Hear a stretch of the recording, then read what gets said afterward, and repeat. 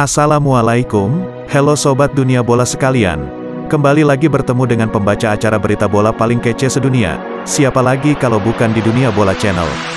Jangan lupa like, comment, subscribe, dan share ya untuk mendukung channel ini agar bisa lebih berkembang.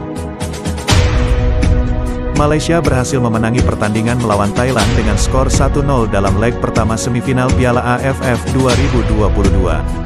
Laga Malaysia vs Thailand dalam jadwal semifinal Piala AFF 2022 diselenggarakan di Stadion Bukit Jalil, Kuala Lumpur, Malaysia, Sabtu malam live. Satu-satunya gol Malaysia yang bersarang ke gawang Thailand dibukukan oleh Faisal Halim pada menit ke-11. Saat berhasil mencetak gol ke gawang Thailand, Faisal Halim melakukan selebrasi, siu, ala Cristiano Ronaldo. Malaysia bisa saja mengakhiri pertandingan dengan kedudukan 2-0. Namun, wasit yang mengawal jalannya pertandingan menganulir gol Dominic Tan. Drama tercipta karena sang pengadil cukup lama untuk akhirnya tak mengesahkan gol Dominic Tan. Jalannya pertandingan Malaysia vs Thailand Malaysia langsung mengejutkan Thailand.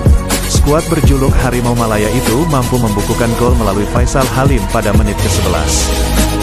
Semuanya bermula dari umpan silang Sarul Nazim kepada Rupentiran Pengadesan yang berada di dalam kotak penalti.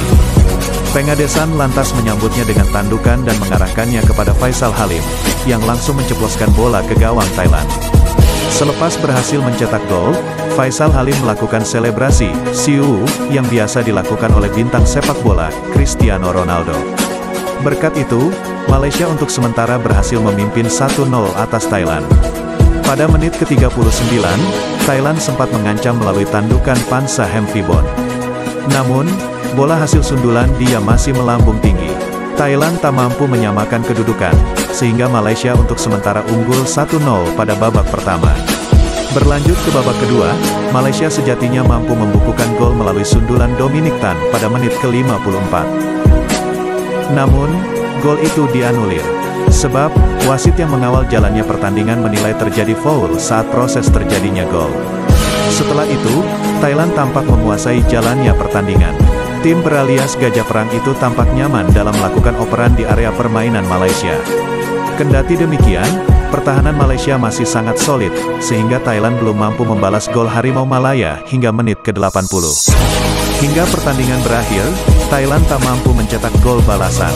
Situasi itu membuat Malaysia dipastikan menang 1-0.